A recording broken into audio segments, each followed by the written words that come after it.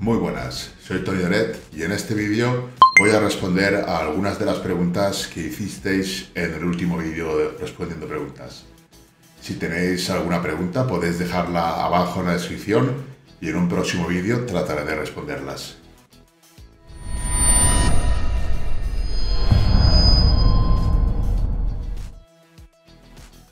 ¿Qué diferencia hay entre los jalones y remos, así como el agarre cerrado y abierto en cada uno de ellos para los dorsales? Bueno, la diferencia es que enfatizan músculos distintos, fibras distintas, o sea que deberías hacer tanto jalones como remos, y tanto con agarre abierto como con agarre cerrado para una espalda completa. El orden, seguramente el rango, el ratio entre jalones y remos debería ser 2 a 1 para los remos dos ejercicios de remos y uno de jalones. Este ratio podría cambiar en base al mesociclo y de lo que tú quisieras mejorar o de las zonas que quisieras mejorar, podrías cambiarlo a 2 a 2. Y en el caso de que hicieras, por ejemplo, 2 y 2, pues podrías alternar unos remos con agarre abierto, otros con agarre cerrado y en los jalones igual. O en cada sesión alternar, ¿vale? Habría que alternar para poder trabajar todo el conjunto de la espalda y todas las fibras.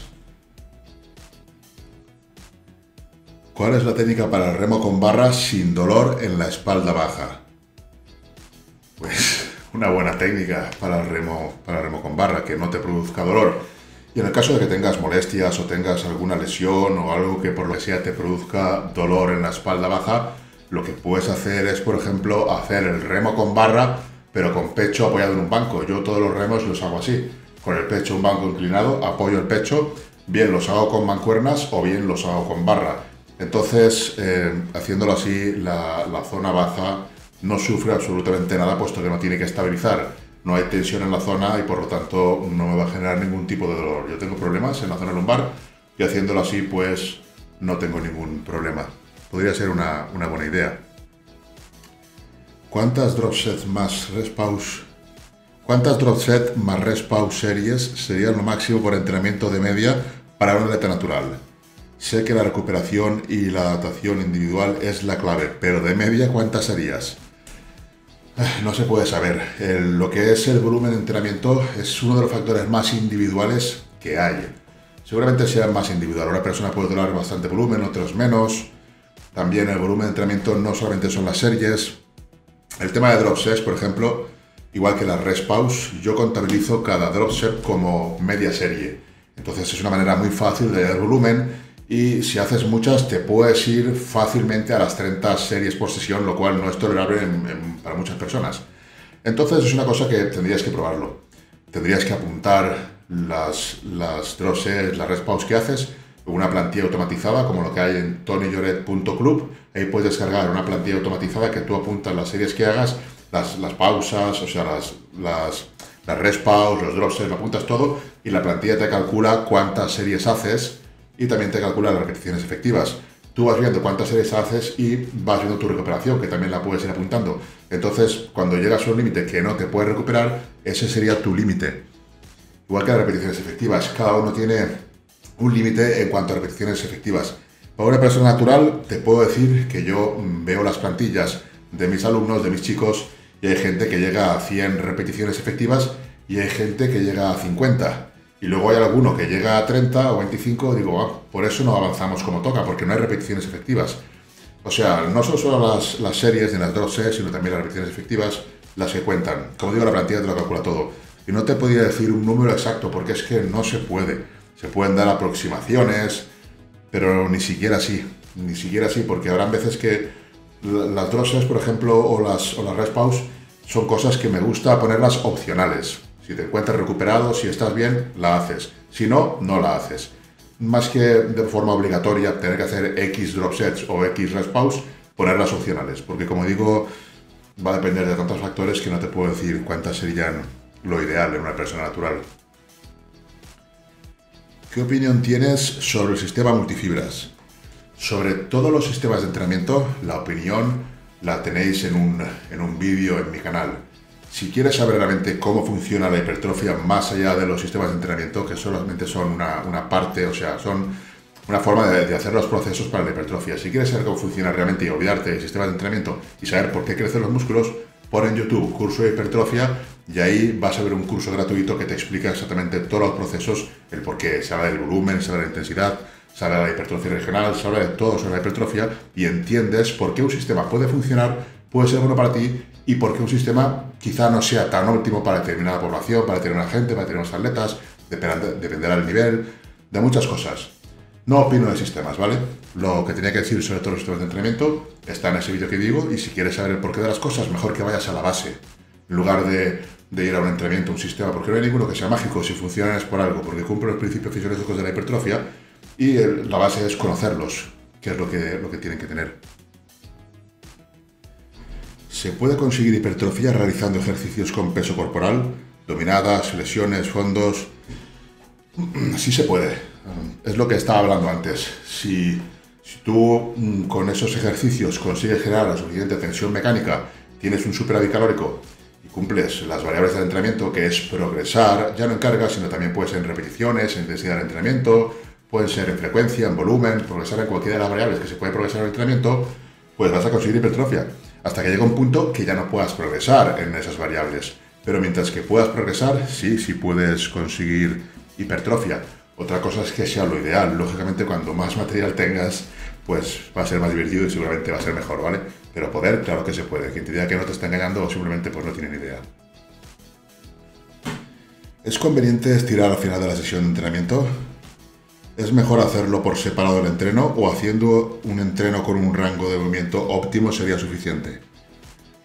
Eh, eh, a ver, ¿es conveniente estirar al final de la sesión de entrenamiento? Que yo sepa, no. O sea, yo, hasta donde yo sé, no es conveniente. Podría generar más daño muscular y no se obtiene ningún beneficio extra, hasta donde yo sé. ¿Es mejor hacerlo por separado del entreno o haciendo un entreno con un rango de movimiento óptimo sería suficiente? Esta pregunta ya no tiene mucho que ver con la primera. La primera es sobre estiramientos que puedes hacerlos si quieres por algún motivo especial, por tu disciplina, por lo que sea, puedes hacerlos separados del entrenamiento, que es lo que se recomienda. Y luego se recomienda separado del entrenamiento. Y luego si tú en, tu entrenamiento haces un, rango, un rango de recorrido totalmente amplio, pues sí, ya estás estirando los músculos, pero ahí no es que consigas algo a nivel tendinoso, sino consigues adaptaciones distintas en cuanto a hipertrofia. Trabajas más... Eh, la fase excéntrica, la tensión pasiva, al estirar los músculos, trabajas más la tensión pasiva, la tensión mecánica pasiva y por lo tanto consigues adaptaciones ligeramente distintas en cuanto a hipertrofia. Los sarcómeros se añaden en, serie en lugar de en paralelo. Con la tensión pasiva es lo que sucede, se estiran las fibras, se estira la titina, se estira una serie de, mm, tejidos que crean adaptaciones en la célula distintas. Y se puede trabajar en estiramiento, pero yo lo haría siempre con cargas. Por ejemplo, Estirar mm, sin, ninguna carga no le veo sentido para hipertrofia, pero estirar con carga sí. Trabajaríamos, como digo, la tensión pasiva y tendría su, cabida, podría tenerla. Pero esto es mm, hilar mucho el rizo y lo haría pues en determinados músculos que realmente no pudiera progresar o que necesitara ese, ese estímulo extra o en algún mesociclo, pero para la mayoría de la gente no es necesario por norma general. Simplemente con enfatizar quizás la parte de alargamiento en una contracción ya sería suficiente, más que suficiente para trabajar esas fibras y para trabajar también lo que sería la tensión mecánica pasiva. ¿Se puede hacer un entrenamiento Katsu a otros grupos musculares, además de brazos y muslos? Sí, el entrenamiento Katsu o el entrenamiento con restricción del flujo sanguíneo se puede hacer también para los hombros, para el pecho y para la espalda. Aquí el funcionamiento por el que es efectivo el entrenamiento Katsu o con restricción del flujo sanguíneo, lo que sucede básicamente, según se ha comprobado en los estudios, todo esto lo tenéis en tonoyere.club, hay un curso completo sobre el entrenamiento con restricción del flujo sanguíneo y lo explico en detalle, pero voy a comentarte qué es lo que sucede, así a grosso modo. Lo que sucede es que los músculos auxiliares, por ejemplo, si tú quieres entrenar, quieres entrenar pecho en un press, ya sea con mancuernas, con banca, como sea, lo que sucede es que falta fuerza del tríceps el cuerpo detecta que falta fuerza del tríceps, entonces lo que hace es activar más el pectoral, compensa activando más el pectoral. Se ha visto esto en estudios como la gente que, que entrenaba con Katsu, pecho, ganaba, no recuerdo ahora si eran era una diferencia bastante, bastante, bastante grande. Era, por ejemplo, en tríceps un 8% frente a un 2% y en pecho que era un 12% frente a un 4% que no aplicaba restricción de flujo sanguíneo. O sea que lo que se ha visto es que la activación es mucho mayor y lo que es la hipertrofia también es mayor. Aparte que eso, puedes emplear cargas más, más ligeras, pero justamente para tener pecho, hombros o espalda no es necesario. Lo que sucede es que por la falta de oxígeno y la, el más estrés metabólico, el cuerpo detecta que tiene que activar más los músculos principales y lo hace. Y por lo tanto termina generando más hipertrofia. Muy interesante el entrenamiento de restricción del flujo sanguíneo. Dentro de poco va a ser muchísima la gente que lo aplique. Habrán dos tipos de personas. Las que digan que no sirve, sin tener ni idea, y las que se rían de las que dicen que no sirven porque habrán visto toda la evidencia al respecto, entenderán cómo funciona, entenderán qué es lo que sucede, etc. Para pérdida de grasa, aparte de por supuesto una dieta hipocalórica, ¿qué entrenamiento de cardio consideras más interesante?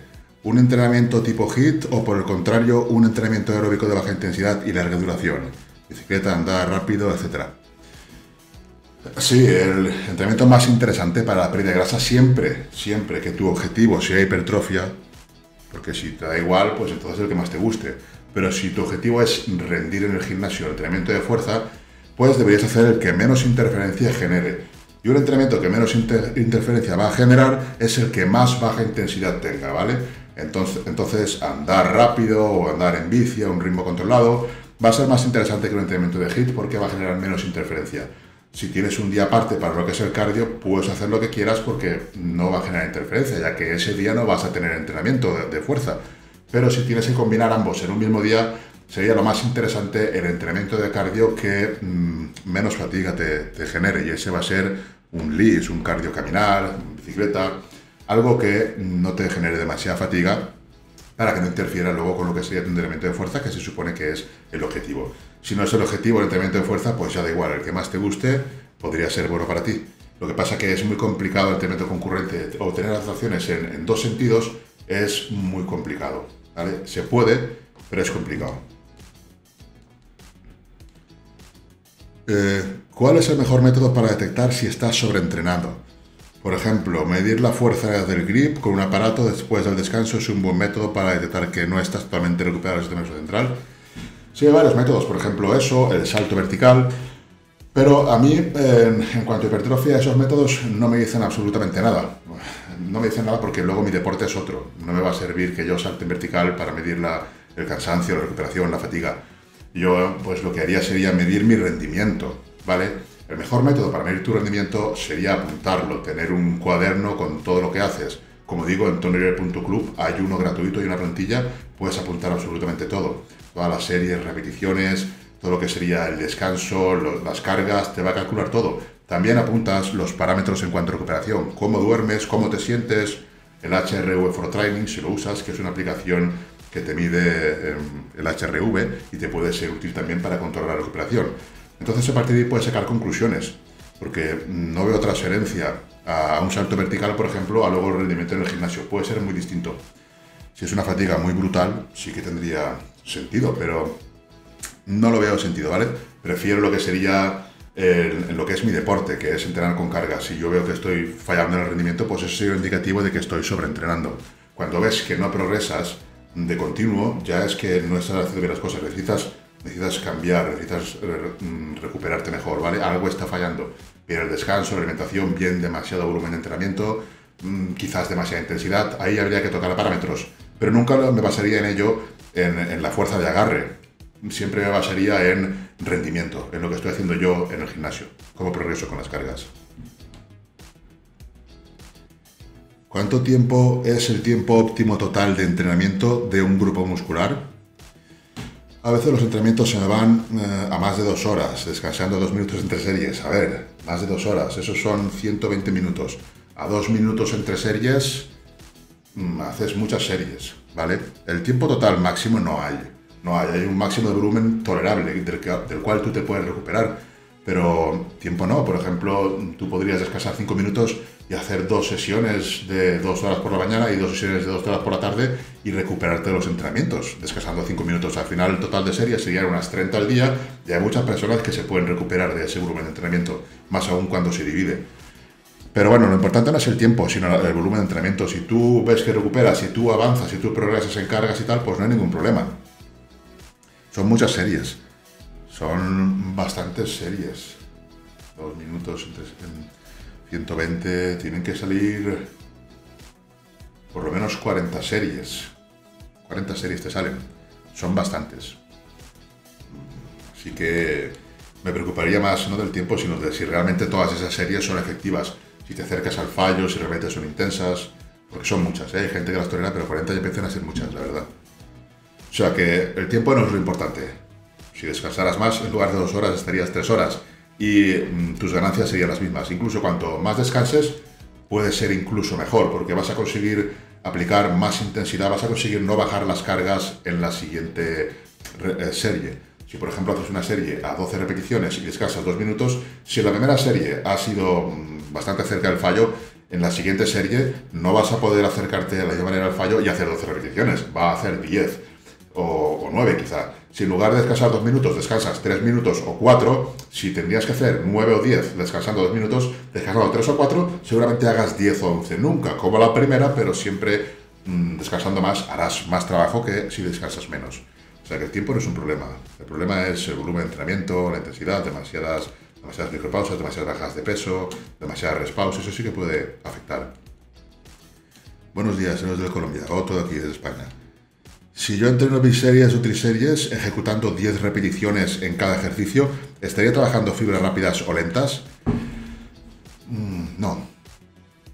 No, a no ser que usara restricción del flujo sanguíneo, ¿vale? Ahí sí que enfatizarías más las fibras lentas, las rojas, incluso desarrollarías más hipertrofia en ellas, cosas que no se pueden hacer con el entrenamiento convencional.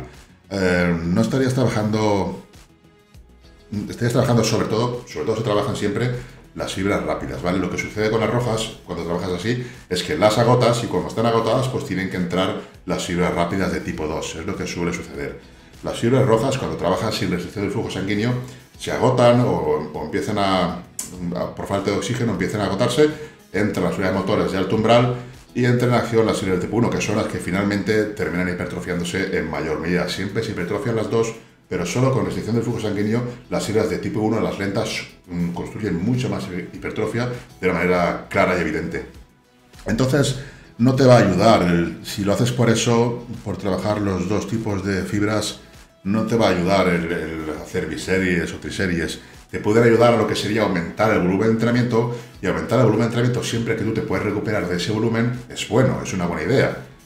Pero a la hora de separar el tipo de fibras que quieres trabajar, no se puede hacer. La única manera de conseguir hipertrofia en, las fibras de tipo 1, como digo, es con restricción del flujo sanguíneo, que se consigue de forma muy evidente hipertrofia. De la otra manera también, pero muy leve. No, no, es, no es relevante la hipertrofia que se consigue con el entrenamiento convencional en las fibras de tipo 1. Por mucho que, que te digan que sí, no es así. Hay gente que lo dice, por eso lo comento. No se puede separar. Hola Toyo, ¿cómo estás? ¿Cuál es la frecuencia ideal para hipertrofia en músculos retrasados y cómo se podría quitar con ejercicio la grasa del pectoral rebelde? A ver, la grasa del pectoral rebelde mm, con ejercicio no se puede quitar, que yo sepa Puedes, puedes hipertrofiar, puedes mejorar la forma del pectoral con ejercicio, eso sí, entonces se va a notar menos la grasa. Pero la grasa se va a quitar cuando tú eh, pierdas la grasa en todo el conjunto del cuerpo. No puedes quitar grasa de unos depósitos y en otros mantenerla. Cada uno pierde la grasa mm, dependiendo de su estructura, de cómo, de cómo metaboliza las grasas. Y hay gente que se le acumula más en los pechos, otros en el abdomen bajo, otros en la lumbar, otros en el glúteo. Y la forma de perderla puede ser distinta, eh, depende de persona. Y la frecuencia ideal, la frecuencia ideal eh, pues no existe. Aquí pones para los músculos retrasados. Pues bueno, ahí habría que ver por qué están retrasados, porque puede ser muchas cosas. En el caso de que fuera realmente porque no tiene frecuencia, pues aplicar frecuencia 2. Y yo, por ejemplo, lo que hago es a los músculos retrasados aplicar frecuencia 2. Y más de ahí no lo veo mucho sentido, a no ser que lo que quisiera fuesen adaptaciones en fuerza, mejorar el gesto, mejorar la técnica. Pero para hipertrofia con la frecuencia 2 es más que suficiente en la mayoría de los casos. Lo que tienes que ver es por qué están retrasados. Mira si es que no te gustan entrenarlos y por eso no los haces correctamente. Mira a ver si la selección de ejercicios eh, no es adecuada. Mira a ver si realmente sientes cuando entrenas esos músculos. Puede ser muchas cosas antes que la frecuencia. Si ya haces frecuencia 2 y no te crecen, seguro que puede ser otra cosa. Hola Tony, ¿cuántas series de calentamiento, cuántas series de aproximación y cuántas series efectivas? Muchas gracias. Pues mira, las series de calentamiento, las que te hagan falta. Las de aproximación, las que te hagan falta. Y las efectivas, las que puedas tolerar. Lo calculas todo y esas serían las que, las que serían buenas para ti. Si te hace falta una serie de calentamiento o dos, pues dos de calentamiento. Que te hacen falta a ti tres series de aproximación porque trabajas con cargas elevadísimas, pues tres series. Si te hace falta seis porque aún son más grandes las cargas, pues seis series. Es una cosa muy individual. Las efectivas lo mismo, las que puedan recuperarte. ¿Cómo saberlo? Calculándolo, apuntándolo todo. Esta respuesta, esta pregunta tan genérica, solo puedo darte respuestas muy genéricas también. Y hasta aquí llegamos. Muchísimas gracias. Y como digo, aquí abajo podéis poner las preguntas que queráis y en el próximo vídeo os las contesto.